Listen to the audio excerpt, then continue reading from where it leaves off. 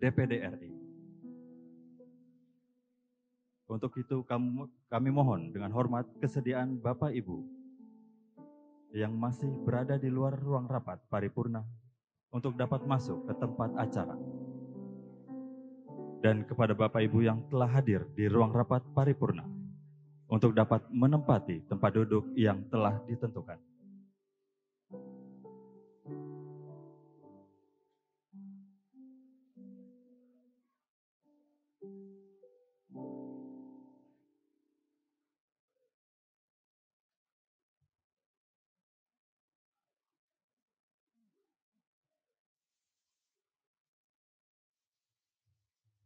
Terima kasih sudah nonton. Jangan lupa like, subscribe, dan share ya.